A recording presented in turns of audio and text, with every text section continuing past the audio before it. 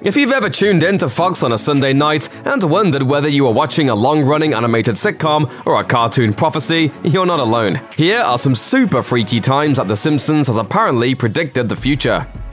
The Simpsons began life back in 1987 as a segment on The Tracey Ullman Show, one of the Fox network's first shows. That means a yellow-hued family has been a staple of the network since the beginning, and as such frequently pokes fun at its corporate overlords.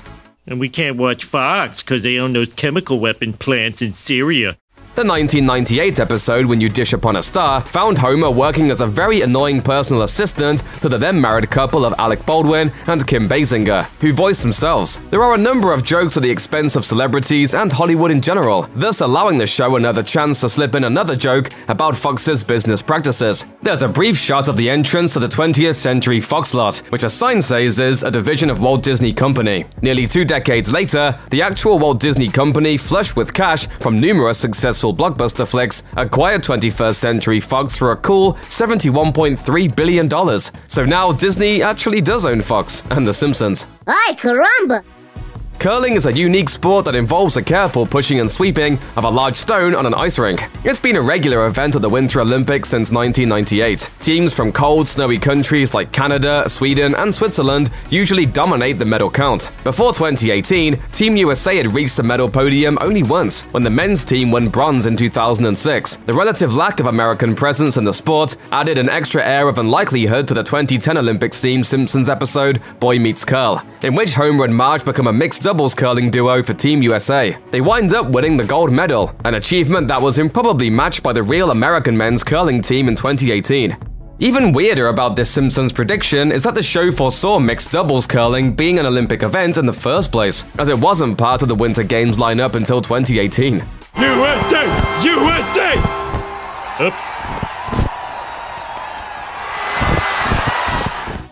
The recurring character, Fat Tony, is the big man in charge of Springfield's legitimate businessman social club. In other words, he's a local organized crime boss. He's been involved in a number of shady and illegal activities, and the 2002 episode Papa's Got a Brand New Badge involved one of his weirdest schemes ever. Homer's security company, Spring Shield, busts Fat Tony for gluing cotton balls onto ferrets, with plans to sell them to a pet store by passing them off as far more expensive toy poodles. Despite the unusual nature of this plot, it was remarkably similar to one a real-life criminal actually attempted.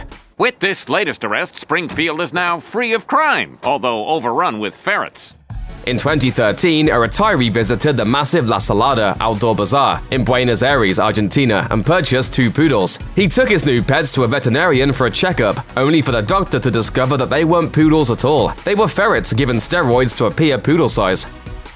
Bart and Lisa love the Itchy and Scratchy Show, the cartoon segment on the Krusty the Clown show that features the unspeakably gory antics of a Tom and Jerry style cat and mouse. In the 1992 episode Itchy and Scratchy the movie, the promoters of the duo's feature film have to pull out all the stops, so they install a billboard in Springfield showing Itchy using a movie camera to chop off Scratchy's head.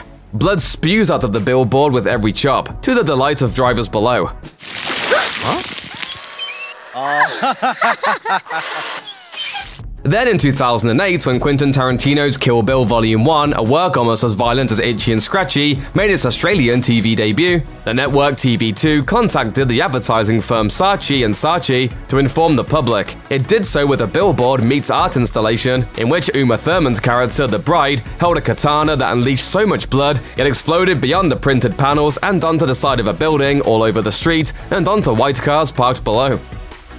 The 2010 episode Elementary School Musical begins with Lisa and her friends watching the announcement of that year's batch of Nobel Prize winners. They're more than a little bit nerdy, so they've all made predictions and printed them out. The Simpsons writers really do their research for these scenes, as they aim to get the details just right for even the briefest of sight gags. The friend group's little chart lists 20 possible Nobel winners across five categories, and all of them are real people and outstanding members of their respective fields. Milhouse's pick to take home the big prize in economics is Bengt-Åke A Finnish economist and MIT faculty member. Amazingly, the usually hapless Milhouse got it right, as Holmström really did win the Nobel Prize for Economics in 2016.